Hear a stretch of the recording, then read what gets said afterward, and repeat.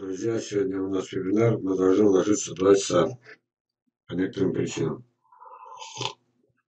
За 2 часа много можно сказать. Поехали. Так, вебинар 186. Перед вами э, саженцы, которым пошел третий год. Растут плохо, они на глинистой почве. Перед вами и эта косточка была академика, и эта косточка была академика. Давайте сравнивать листья. Почувствовали, что это две большие разницы или не почувствовали? Вот. Для чего я это говорю?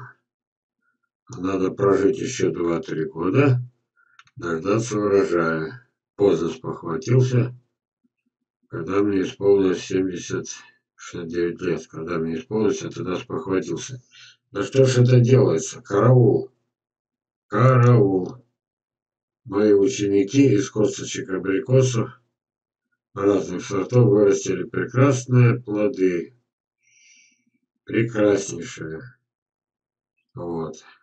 Они умыли не я, а э, мои уважаемые ученики, не все ученики, а просто толковые садоводы из моих косточек достигли невероятных успехов. Вот. Значит, а я отстал. Буду догонять, что делать. Это вот моя, так сказать, реплика на... У меня их десяток таких. Вот, персики. Вопрос был такой. Буду продавать косточек персиков.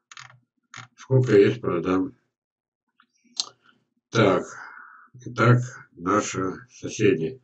В общих чертах в нашем непонятном латвийском климате в прошлом году было засушливое лето 25-30, в этом году 10-12 дождем, сильными ветрами.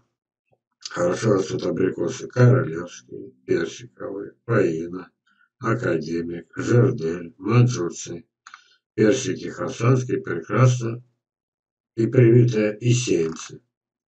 Если волосы растет хорошо, хотя штамбовая подмерзла, но может отойдет. Штамбовая имеется в виду вишня. Вот, подмерзла. Это самая морозостойкая в мире вишня. Может быть другая какая-то причина, но жаль, мне отсюда не видно. Латвии далеко. Сливы Ника и Китайки тоже прекрасно растут. По яблоням все апорты и груши вы присылали черенки, растут хорошо. Ой, какая благодать, даже не верится. Некоторые груши в этом году цвели. Спасибо, Валерий Константинович, вам за создание моего сада. Без ваших советов и обучения у меня ничего не получилось бы. И вот момент такой. Вот эта фраза. Люди за саженцами стоят в очереди. Потому что все округи нет ни у кого ничего подобного. Вот. И еще не все. Значит, мульчирую вокруг деревьев свежескошенной травой, а чашку ранней весной, так, чтобы не пострадала корневая шейка. В середине лета трава перегнивает, и вокруг дерева остается перегной прекрасной подкормкой деревьев.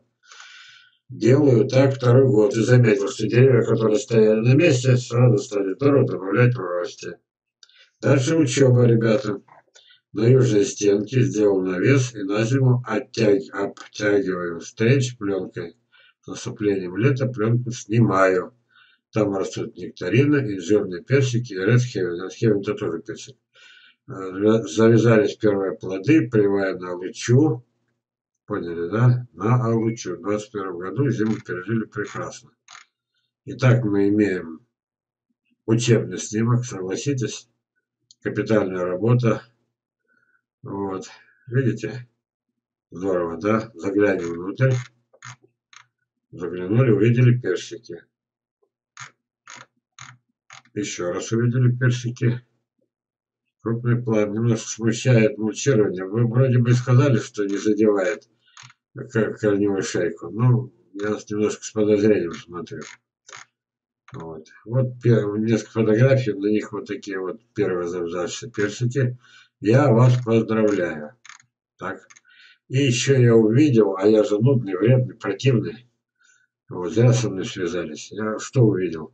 Я увидел э, ваши саженцы, привитые в горшках. Вот. Наверное, есть, бывает, случаи, когда оправдывается именно вот эта промежуточная транзитная посадка, я так и называю, транзит, вот, с пересадкой. Лучше ее не делать, лучше сразу на постоянное место. Но, возможно, вас оправдывает то, что, может быть, в планах посадить только на следующий год. Вот. И все-таки, все-таки, все-таки, ну, я же говорю, что я противный, видите? Вот. А, а может быть, они тут потихонечку это, сопливают, нет? Я бы чуть-чуть э, мучу бы отгорнул. Ну, теперь, это, надеюсь, вы мне не обиделись. Надеюсь, не приведет к международному конфликту с Латвией. А тем более я сейчас делаю заявление. Вполне официально. Итак, Железов делает заявление. Я объявляю экспансию. Я со своими сортами и своей технологией завоевываю соседние страны. Вот.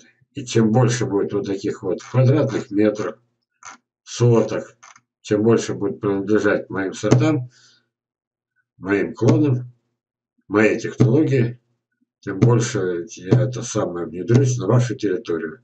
Это я про Казахстан, Украину, Белоруссию, Прибалтийские страны и так далее. Немножко был случай, я перешел немножко в это э, в Словакию, я перешел в Израиль, я немножечко захватил кусочек, это самое, а уже начинаю забывать. А Швеции и Финляндии кусочками завоевываю, пусть по несколько метров. Это моя экспансия. Вот. Почему?